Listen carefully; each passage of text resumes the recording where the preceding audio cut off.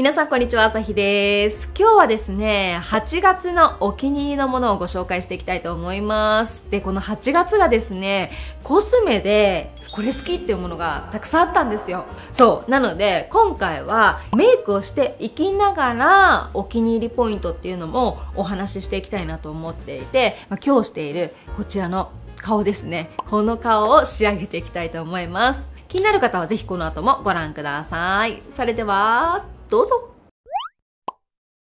ではまず1つ目のお気に入りはですねこちらでございます。ジョリエンのバランシングリップセラムです。こちらがねあのメイクアップアーティストのジョージさんがプロデュースするあのブランドの商品になるんですけどこのリップセラムがねめちゃくちゃ面白くってこのね分かります？この先の部分が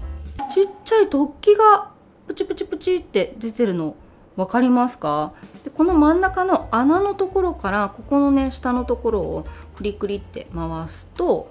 こんな感じでリップセラムが中から出てくるのででこのあの突起の部分を使って唇にそのままねこんな感じで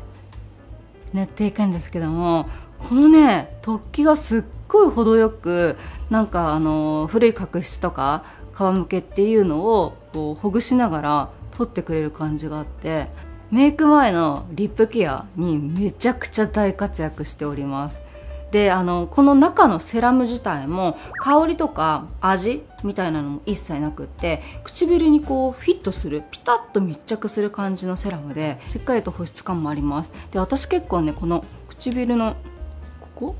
ここのところ？こういったところがあの皮むけしやすかったりするんですけどもちょっとこうくるくるくるって優しくくるくるくるくるってなじませてでこの後にメイクをすると口紅を塗る頃にはここもちょっとこうふやけるじゃないですけどもスルッとむける感じがあるのでこのヘッドはですね素晴らしいです。でまあ何度もね使ってるとこの間に角質が溜まりやすい感じもするのでたまにまあ、ティッシュとかで少し拭ってもらうと衛生的にあの綺麗に使えるんじゃないかなというふうに思いますね。さあそしたら続いて下地をつけていきたいと思いますが下地はこちらです。イーウィーのルーセントプライマーです。これね本当にお肌が綺麗に仕上がるの。SPF が50プラスの PS3 プラス。でしっかりとあの紫外線対策もできつつもうツヤっとしてるんだけど肌本来の色味はこう透けさせて見せてくれるような、うん、すごく繊細なお肌に仕上がります。ということでちょっと塗ってみようね。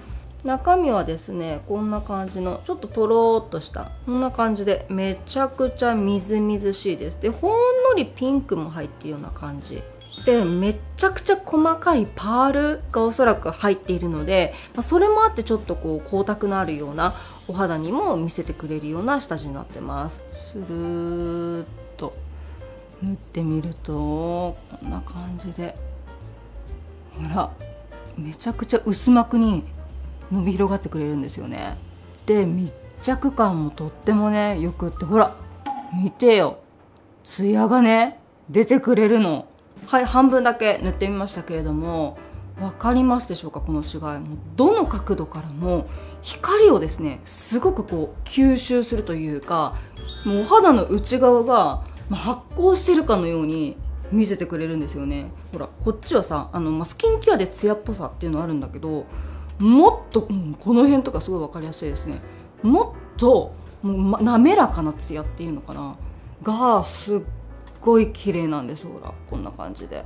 お肌がツヤっとねなってくれてる分ファンデーション自体もすごく少なくても綺麗に仕上がるしこのツヤ感がうまいことあらをごまかしてくれるような感じがあるのでかなり大人肌の味方をしてくれる下地なんじゃないかなというふうに思っております。前回このナースのライトリフレクティングトーンアップベールっていう下地。これもお気に入りに入れて今もこれ結構使ってたりするんですけどもルーセントプライマーの違いで言うとナーズの方がですね分かりやすくちょっとこう白っぽくなる。うん。なんか白い絵の具がうっすら入ってるというか。それのおかげでトーンアップ感もあってでツヤっぽさも見せてくれるようなもうほんとどんなお肌でもパッと一目で綺麗。トーンアップしたなって思わせてくれるようなすぐ違いを感じるような下地なんですけどもそれと比べるとこっちのね方はピンクっぽさも入ってるのでよりお肌に馴染みお肌の、あのー、底色っていうのがこう透けて見えるような感じ。美容液もたっぷり入ってるので保湿感お肌自体の保湿感も上げてツヤ感を出しつつパールも入ってるのでこうやって動かしたりとかするとツヤ感の違いっていうのがねこっちの方がツヤ感がこう際立つと思うんですよね。でツヤのあることでのトーンアップ感みたいな感じなのでまたちょっと違うんだけどどっちも本当に好きなんだよね、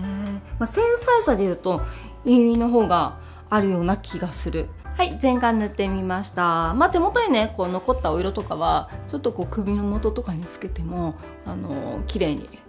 見えるかなと思うので残ったものはティッシュで拭き取ることなく私は首につけちゃってますね。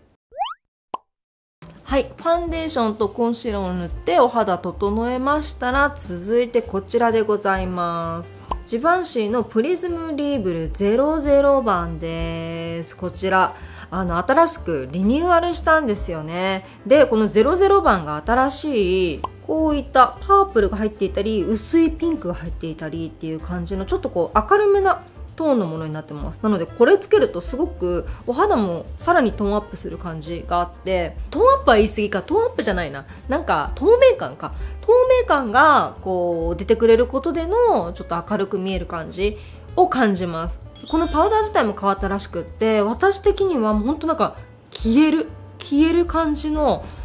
お肌の質感こうこうやって作ったお肌の質感っていうのを損なわずにセットできるっていうのですごく優秀だなと思いました。前と変わらずここの部分穴の部分が一番シーのあのマークになってるんですけども私的にはあのネットのネットタイプのものの方が個人的にはまあ好きなのでもうちょっとまんべんなくあのこっちのパフについてくれたらいいなと 思ったりはするんですけど、まあ、こんな感じで。私はこの目の際とかあの、コンシーラーでセットしてシワに入り込みやすいところ。っていうのはこう固め付けみたいな感じでやることが多いですね。あと眉毛とか。こんな感じでほらちょっと色味がいくつかの色が入ってるのがわかるかなと思うんだけどこれをこうやってねブラシで中までしっかりと含ませて顔の周りねここら辺のところはさらっと仕上げて。はいどうだろう？分かります？ほらツヤ感は、まあ、ここそんなに塗ってないけどもツヤ感はさこんなに消えてなくて。でもふわっとしてくれてなんか肌補正のなんか加工でもしたかのような感じのね。すごいなんかフローレスなお肌になります。この新色のカラーっていうのがさらに私的にツボなのかもしれないんですけどすっごいこれは粉感もこう軽くてとっても綺麗に仕上がるのでねすごく好きでした。はい。はいそして続いてアイメイクです。アイシャドウ塗る前にですねこちら。またまたジョリエンのアイベースコンシーラー。これもすごい良かったの。ほんのりピンクみがあるようなねお色で、まあ、私のようにねすっごいこの血管がね浮き出てたりとかすっごい皮膚が薄いのでこういった紫っぽい色とかも浮き出てしまっているんですけれどもちょっと半分塗ってみるけどこんな感じでね上に塗っていくとわかる？こんなに違うの？結構違うでしょ？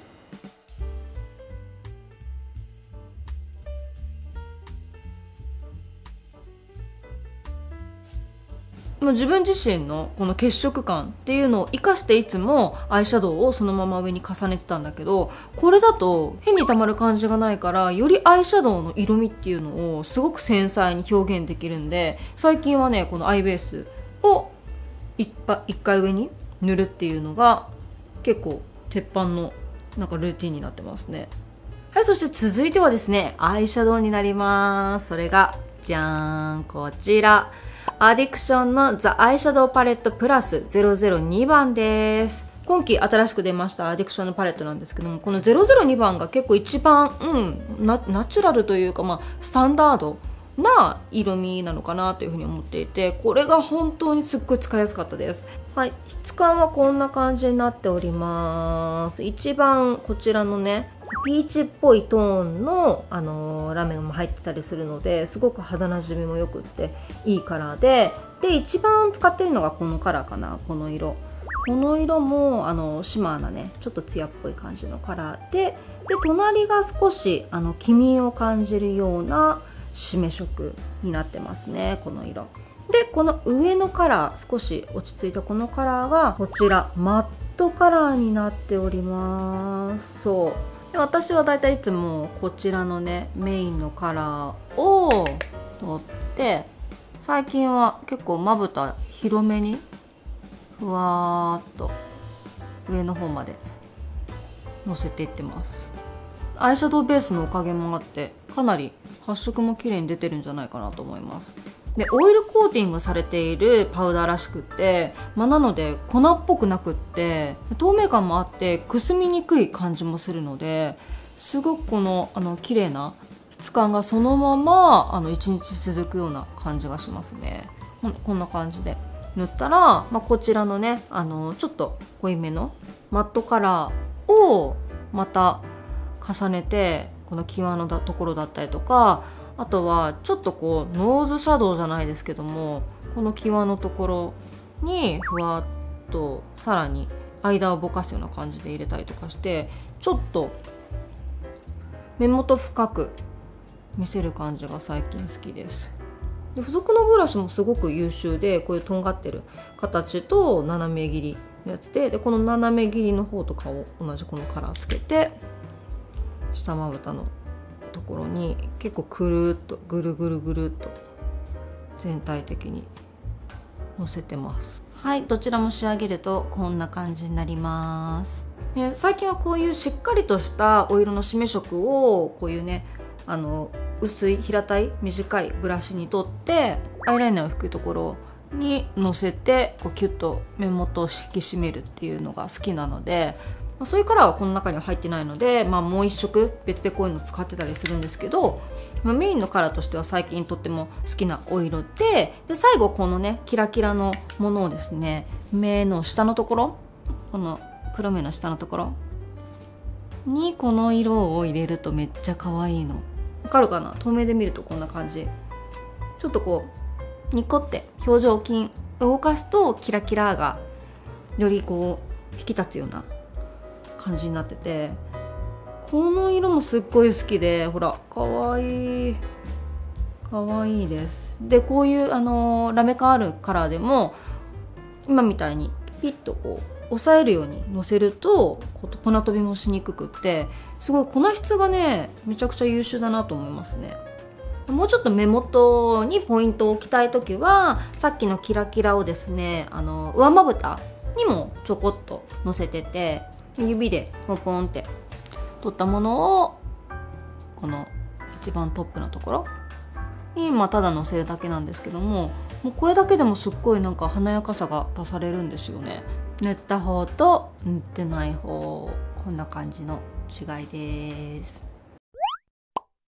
はいそして続いてチークなんですがちょっと久しぶりレブロンなの。こちらレブロンのブラッシュデュオ。002番のカラーですね。こちらもあの新製品になるのかな。グラデーションになっているパレットになっていてこっち側がねハイライトカラーが入ってるんですよね。こんな感じの。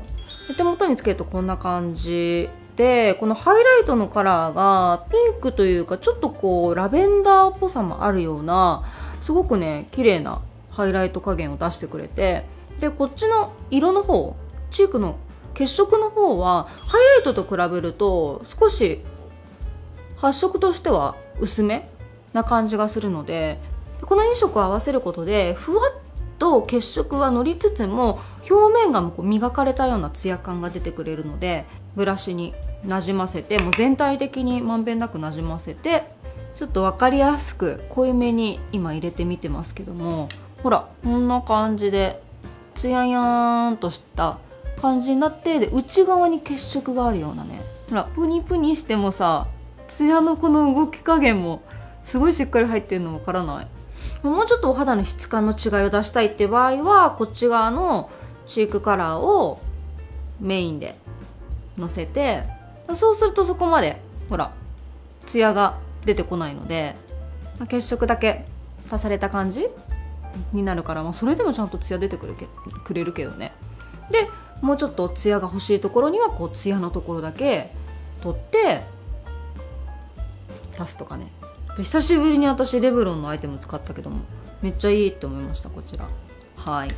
はいそしてお気に入りの最後はですねじゃんこちら。ケイトのリップモンスターツヤバースです。これはショート動画の方でもレビューしたんですけども、うるツヤな質感が追加されたリップモンスター、落ちにくいリップというところで、ちなみにね、ほんととろけるようなツヤ感なので、あのー、カチカチって出したらもう元に戻らないタイプのリップです。色味はこちらの3色でして、もうどれもね、とっても使いやすいカラーだったの。ティッシュオフすると、こんな感じで、ささっと脱ぐとこういう感じでちょっとこう残ってくれましてますねで今日みたいにしっかりアイメイク作った時はこの03かなブラウンカラーをのせることが多かったのでこちらのカラー塗っていきますね。こんな感じで。うん。カニ合わせからのツヤ。めっちゃ綺麗。本当にとろっとろの唇がこれで完成するっていう感じの色味で。ほらブラウンだけども結構唇にあの薄くついてくれるのでそんなに顔が沈まないのもねすごく好きです。はい。こんな感じめっちゃいい色じゃないですか。リップモンスターに比べて厚み感がこっちの方があるので、まあ、気持ち丁寧に塗った方が、ま、ムラ感なく綺麗に塗れる塗れるかなと思います。で落ちにくさで言うとどうだろうな。これツヤ感はやっぱりどうしてもちょっと剥げてしまう感じはあるけども意外と色持ちしてくれるしあのラーメン食べて実験してみたんですけどまその動画はあのショート動画で上がってますけども意外と残ってくれてね綺麗だったんですよね。まあこれはねかなり人気だと思うので店頭なかなかないかもしれないんですけども見かけた際はぜひチェックしていただければなと思います。メイク仕上がるとこんな感じの仕上がりになります。こんなにメイクアイテムに集中してお気に入りが重なることってあんまりなかったので、まあ、今回はねあのちょっと詳しめにメイクしながらご説明していったんですけども、えー、これ気になるみたいなものがあったらねぜひぜひチェックしてみてください。ということで最後までご覧いただいてありがとうございました。また次の動画でお会いしましょう。バイバーイ。